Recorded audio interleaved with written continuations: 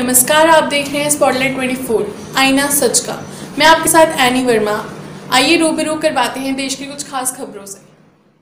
सर्व UP ग्रामीण bank शाखा Usaid के तत्वावधान में आज ग्राम पंचायत खेड़ा जलापुर पुख्ता में वित्तीय साक्षरता कार्यक्रम आयोजित किया गया।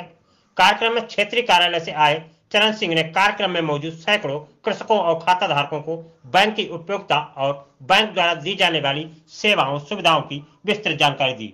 उन्होंने अटल पेंशन योजना जीवन ज्योति बीमा योजना व कृषि कार्ड का लाभ उठाने व समय से अदायगी कर योजनाओं का वास्तविक लाभ उठाने की प्रेरणा दी।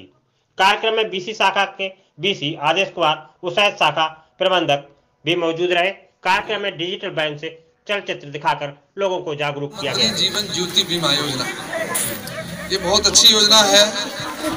इसमें 18 साल से लेकर 50 साल तक का व्यक्ति जो भी है आपके घर तीन उसका 330 रुपए में एक साल का बीमा हो जाएगा और दो लाख की बीमित राशि मिलेगी।